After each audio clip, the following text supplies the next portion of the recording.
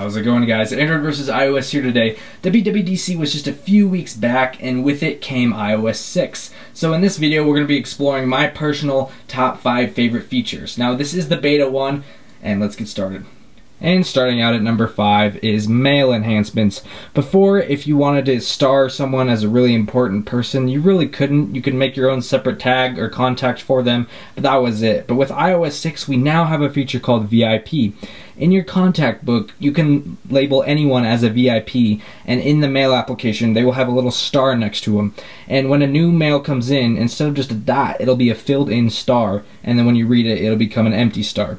And the star thing is important to me because if I have something that's really important, like a work email or a, personal email with a specific due date or new information coming in, I can star whoever that's coming from, and it'll appear in this VIP inbox right here. And also, one of the coolest little new animations they added was the mail refresh animation, which you just drag from the top. It'll kind of stretch it out like something like a slinky and snap it back up and refresh your inbox. At number four, we have Passbook. In this beta, it is just a, a information screen right here. It doesn't work yet, and obviously it'll work when iOS 6 is officially released.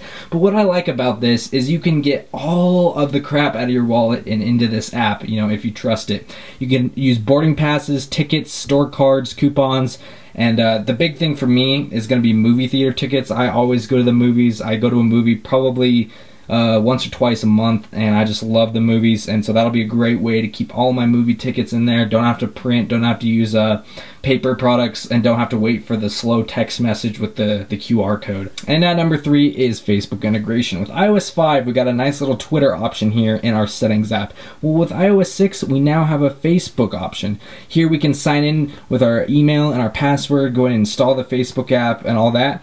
And with this, it integrates all of the previous push notifications the Facebook app used to give you right into the OS. So for example, all of your friends' birthdays could show up in your calendar app, or you could sync all your Facebook contacts with your iOS contacts. Android's been doing this for a while, but this is a nice addition to iOS. And also, use a little widget when you sign in, tap to post. It'll appear right here next to the tap to tweet icon.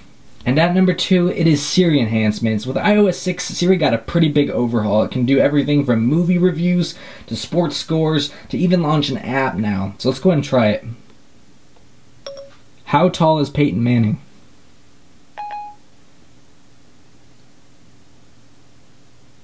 Peyton Manning is six foot five. So with the new Siri, you can integrate all sorts of sports scores from ESPN and other sports sources. Let's go ahead and try uh, Rotten Tomatoes.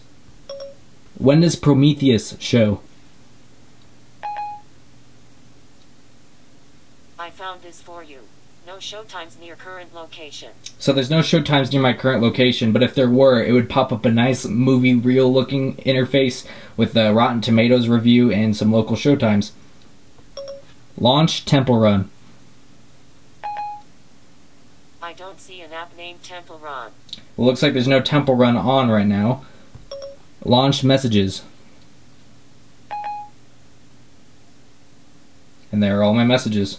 And at number one, it is the Maps application. Now, this screenshot was actually leaked a few months back, and everyone was thinking that iOS 6 would have a complete user interface overhaul because of the silver elements right here. That was in fact not the case, and this is only applicable to the Maps application. Taking a look around, we have our current location button right here, a 3D button right here, our navigate button right here, search bar right here, bookmarks tab right here, a little page pull up, which will let us change some settings. Now, Apple completely ditched Google Maps and started doing their own mapping. Now they uh, partnered with TomTom to provide Siri turn-by-turn directions, which I'll do a video on later.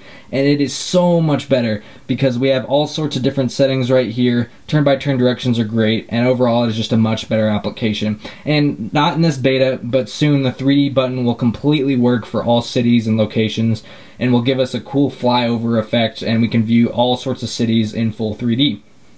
Well, that's it for iOS 6 Beta 1. I'm Android versus iOS. Thanks for watching.